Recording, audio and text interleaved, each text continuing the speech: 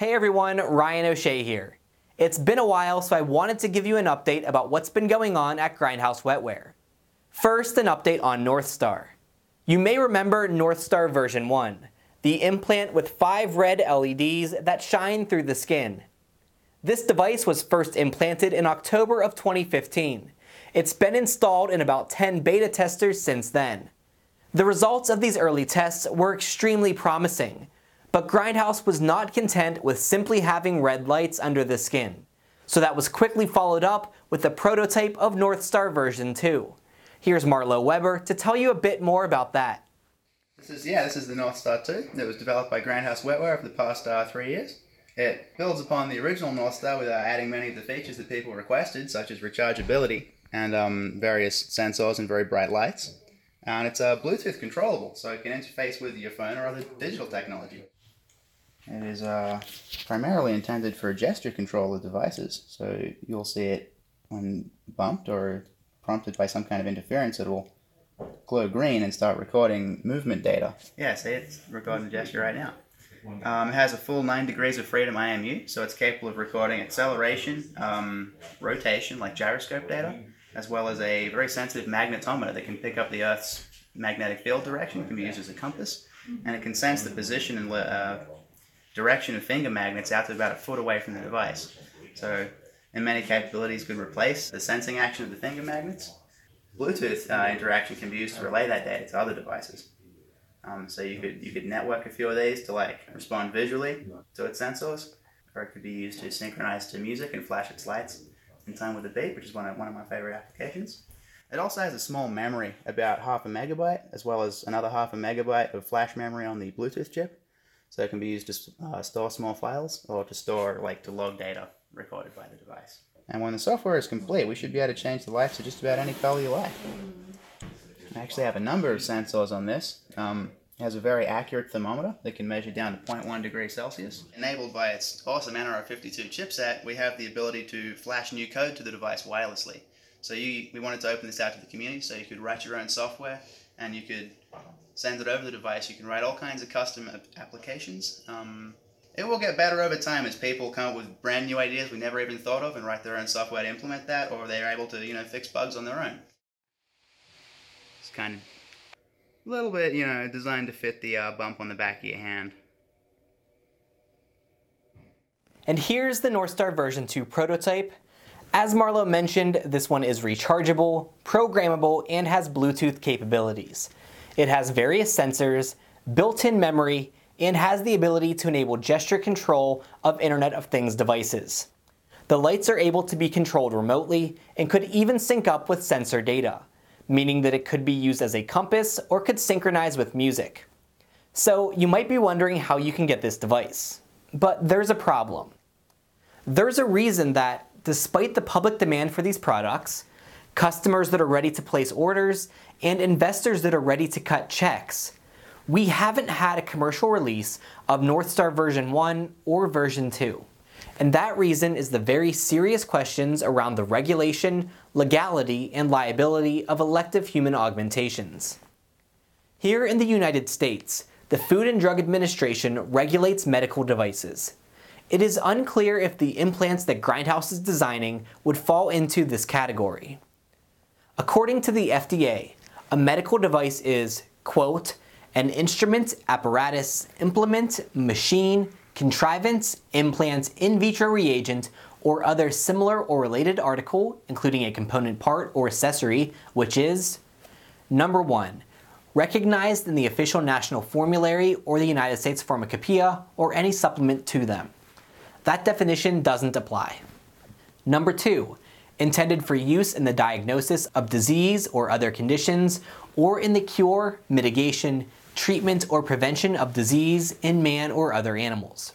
Grindhouse or its affiliates may want to step into this space in the future, but that currently doesn't describe Northstar.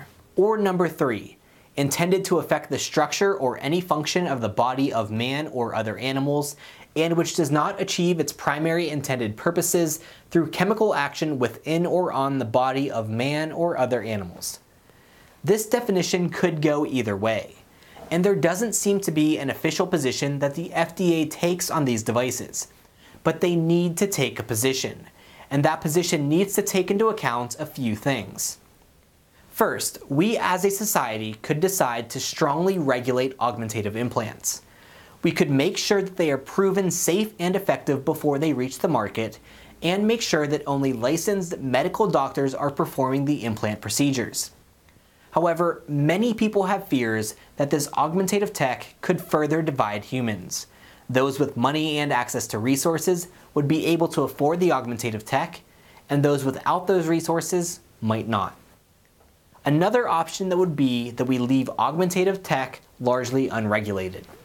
They could be treated as piercings, transdermal implants, and aesthetic implants are today, and the procedures could be performed by trained body modification professionals, many of whom have extensive experience doing similar work.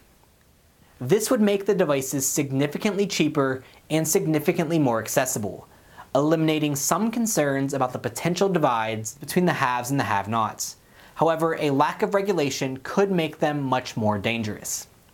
Regardless of what path we choose, we as a society need to understand that there will always be an underground black market for augmentations. I don't see any way to stop that. And we should also consider what the ramifications might be when someone is severely injured or killed as a result of their decision to receive an augmentative implant, a situation which seems inevitable. It's going to happen, and when it does, we need to make sure that the response is a reasonable one. I could talk about this subject for hours, and I have a lot more to say on it. But for now, let's move on to how we're addressing these issues today. Even though there's no clear path to market for the Northstar device, the people behind Grindhouse Wetware have not given up. This biohacking technology is coming to market, just not in the way you might expect. In 2017, much of the team behind Grindhouse Wetware spun out a related but distinct entity known as Livestock Labs. Livestock Labs is essentially making a new and improved version of our prototype Circadia device, which is capable of monitoring physiological metrics from the body. However, this device is designed specifically for cattle. I spoke with Grindhouse member and Livestock Labs Chief Operations Officer Amanda Plimpton on the Future Grind podcast to find out more about their work. Here's an excerpt from that episode. With Livestock Labs, several of the Grindhouse Wetware Collective people came in, as well as a couple of Australians who indicated that the Australian market was ready for some biotechnology. They were ready for implants, but for cattle. They saw a very good need for the health and welfare monitoring of livestock. And so they got together and showed that there would be some grants and there would be some money there and that there was interest. And so the company with Livestock Labs was formed in order to create the product that is called EmbediVet.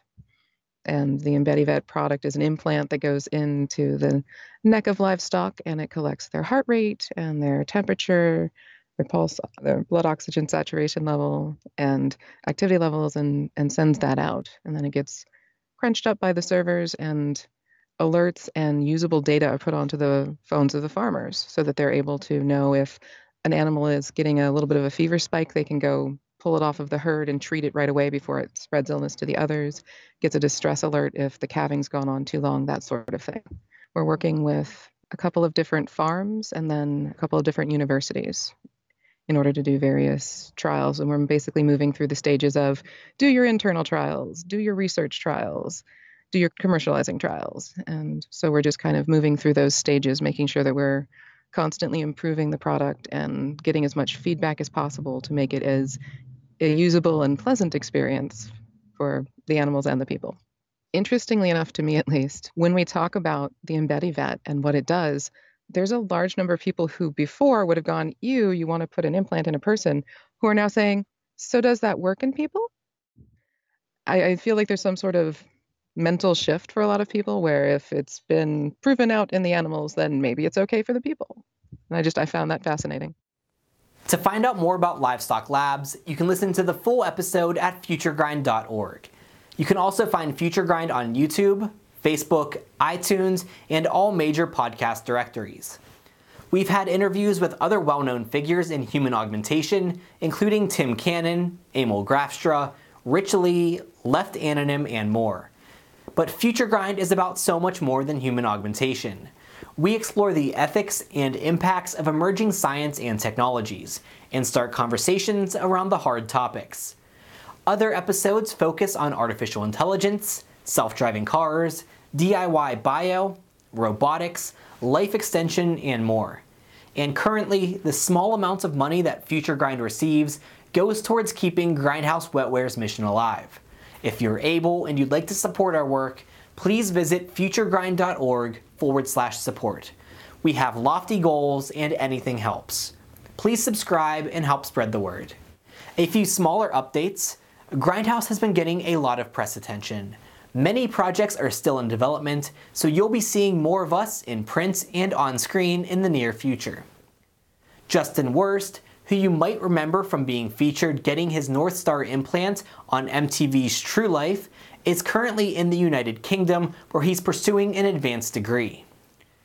Behaivior, the artificial intelligence startup that I co founded in 2017, in part to help make sense of all of the data that implanted devices will generate, has had some exciting developments.